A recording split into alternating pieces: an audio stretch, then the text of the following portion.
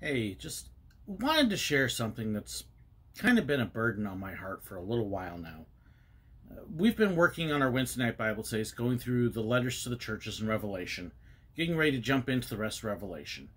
And just really been between that and then uh, my associate pastor's been working through the book of James and just been hitting a lot of things that I think that the church in America, those who call themselves believers, in all too many cases it has forgotten, um, is tuning out.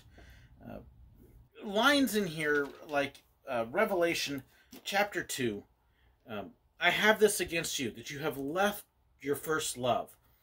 Therefore, remember from where you have fallen and repent and do the things you did at first. Uh, Revelation chapter 3, um, verse 1. He has the seven spirits of God and the seven stars says this I know your deeds and that you have a name, that you are alive, but you are dead.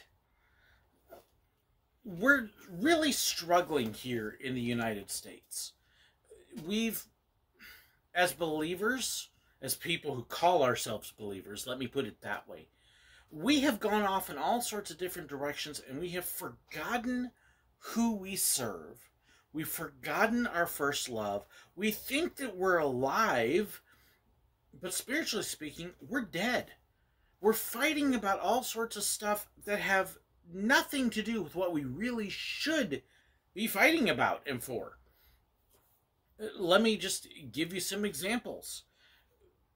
As a pastor, I have people that are, What do you mean you don't make people wear masks? How dare you? What's wrong with you? Who are you serving?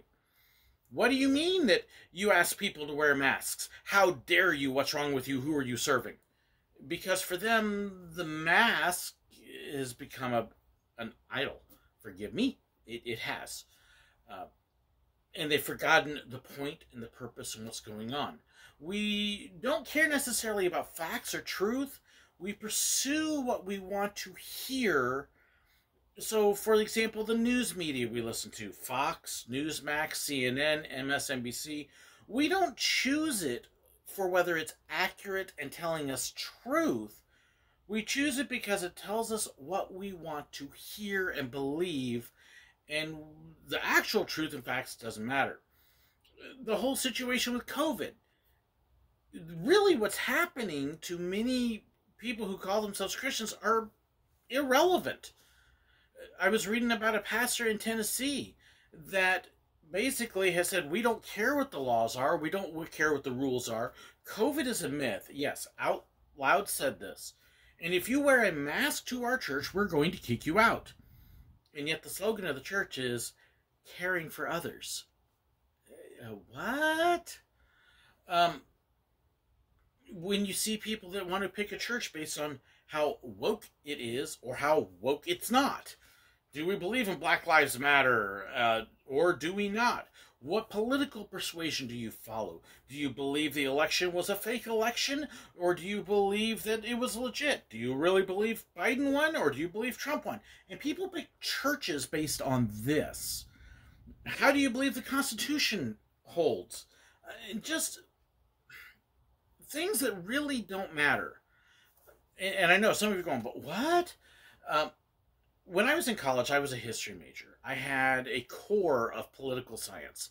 I spent a semester digging into the Constitution, and I actually still have my textbook. It's on one of my shelves here, where I dug into depth in the Constitution because at the time I was very much into my political persuasion is the right one, and how dare you say something else? And, and so, I mean, I know the Constitution. I know the history behind it, the stories, the compromises, why it reads what it does, what the intention of the fathers were. Something that a lot of people who are willing to argue about Constitution don't know because they've just heard it somewhere. Um, it, it's kind of the same kind of thing about a lot of people who say, "Oh yeah, but doesn't the Bible say?" and they really don't know what it says because they've never looked at it. Um, please don't argue about something you've never actually read, let alone studied. Okay, it just makes you look foolish. And unfortunately, that's where we're at, is we have a lot of people that don't care how foolish they look and sound. They don't care if they know what they're talking about. They will latch onto the smallest things that feed what they want to hear. And they've forgotten their first love. They've forgotten what they believe. They think they're alive and they're dead. As believers, we have certain jobs and tasks that we're supposed to do. One, we're supposed to let this speak to us. We're supposed to let God use His Holy Spirit in His Word to speak to us, to change us, to convict us, to make us more like Him. The more we do that, we will see the fruits of the Spirit from Galatians 5 love, joy, peace, patience, kindness, gentleness, self control. Those are the kinds of things that will manifest themselves in a believer. And if they are manifesting anger, hatred, selfishness, name calling, uh, those kinds of things, you've got the wrong spirit working in your life. It's not a spirit of God. And why do we see so much of that coming from believers? It's because we're pursuing the wrong things. We've forgotten who we serve. We have a large group of people in churches who think that their job is to defend the Constitution, defend our rights from their idea of a corrupt government to stand up for freedoms of victory. Uh, I have news for you, and this is going to be a shocking to some of you. If you think that is your job as a believer and as a church, you have completely missed the point. You're in the wrong business. You're in the wrong ballpark. I love our freedoms and our Constitution, but that is not our job as believers. Paul says, I preach Christ and Him crucified. Not I preach a better form of government that stands for more people, that all people may be created equal. That's not in the scripture. Paul says, I preach Christ and Him crucified. That's who we're supposed to be serving, not all these other things.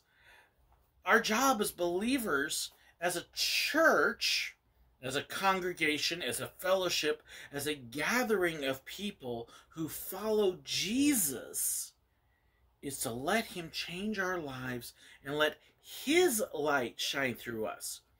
Not the light of the United States, but the light of the gospel of God that convicts of sin, that loves the sinner, that pours out and changes us and saves us from our sin and brings grace and mercy the power of the Holy Spirit to do things in your life that can't be done otherwise. Things that no political party or persuasion or president or country can do. We don't know what we're doing now. I see more pastors posting political stuff. How dare you talk about hurting people and Black Lives Matter and it's all a conspiracy? Well, you know what? If Jesus says to love the brokenhearted. I don't care what your stance necessarily is. If there's a hurting person there, our calling is to love them. And if you're more determined to decide their political bent first, you're more in pursuit of politics than in the passion of Christ, and you have idolatry in your life if you are pursuing a political bent before people, you have idolatry in your life. And what's the first commandment? Thou shalt have no other gods before me. You shall not make any idols nor graven images. I love the U.S., but we've turned the flag into a graven image. We've turned the Constitution into a graven image. As good as the Constitution is, it is not Scripture. Sure, the Declaration says that in order to form a more perfect union, that all men may equal may have equal liberties. And forgive me, I'm messing it up. But that's the that's preamble to the Constitution, the Declaration of Independence, that all men are created equal and have the rights to life, liberty, and the pursuit of happiness. But then you follow that up, and we say, yes, yes, see, and then the Constitution actually makes all black men only three fifths of a person. Oh, and women, they didn't have any existence at all, no rights at all. So wait, it doesn't matter, it doesn't match, something's wrong. And so if you're preaching one, then you're mistaking. This says all men and women, all creation is created in the image of God. And that he loves each one of us. I'll take this over the Constitution. any day. This is what we're supposed to be preaching. Preach Him and His Word. This is what we're supposed to be living. And if we're constantly pursuing politics, if we're pursuing our view on COVID, if we're pushing these other things, we're not preaching Christ. We're not living Christ. And in fact, I would actually say if you're pushing those other things over people, I would say you really ought to start questioning your salvation. Who are you serving? Are you serving idols? Because if you're serving idols, you're not serving God and you're in danger of hellfire. And hell is a very real place. I carry my mask as I dig into it in my pocket. I have one all the time.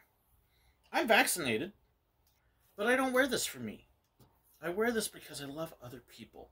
The whole point of COVID, by the way, COVID is not an American thing. It's not a Democratic thing. It's not a Republican thing. It's not a political thing. Stop that. It's killed millions worldwide, okay? Um, it's beyond us. Stop thinking self centeredly. This might shock some of you again. The world does not revolve around us, it doesn't revolve around the United States. There's a little more to it than that. But if I'm in a crowded spot, I'll put my mask on. Do I necessarily really need to worry about getting it? No, but I don't want to be a carrier. I don't want to be somebody who makes others uncomfortable. I wear it because I love others. It's not about me. It's about loving God and loving people. And in too many ways, our country isn't doing either. Those people who call themselves by his name certainly don't live like it. And I could go on and on and on with the examples. But as soon as you start labeling names, if you have to throw out them liberals, if you have to throw out other names and labels, that's not a Christ like thing. That's not what Jesus has called you to do or what he's called you to be.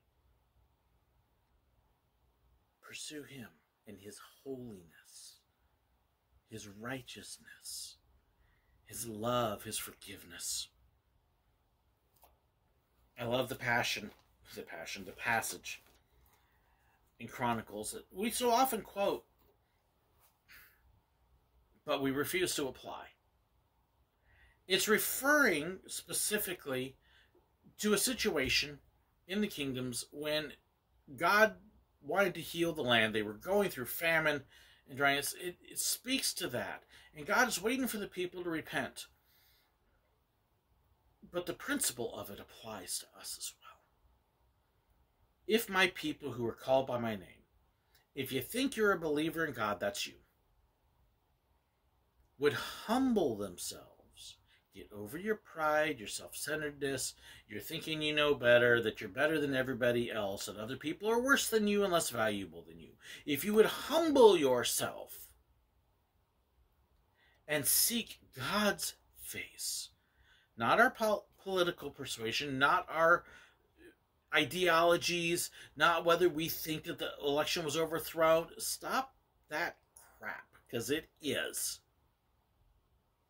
but seek his face and his righteousness and turn from your wicked ways because all that other stuff is garbage. It's junk. All those things where you're lifting yourself up and saying, See how good I am and how evil you are because you have a different view and a different religion. Repent. As Jesus said in the letters, because if you don't turn back to your first love, I will remove your lampstand. He will remove you from the kingdom. He tells us in Matthew that he will prune the bush. As Paul puts it, the wild olive branches that have been grafted in will be trimmed out and thrown into the fire. Humble yourself. Seek God's face and his righteousness and turn from your wicked ways. Then he will bring healing. And until we're willing to do that, we're in big trouble. And it's not the fault of them liberals, them Democrats, them conservatives, them Republicans, them people who push COVID, those people who don't push COVID, the people who voted one way, the people who overthrew the whatever garbage you want to throw out because it's all junk. If you don't turn back to God, you're going to burn. And right now, our country is on the way because we can't get over ourselves. Repent. Repent. And turn back to what God has called you to be. Turn away from the other stuff and seek Him first. Because that's what's going to save our country. That's what's going to save you and our churches.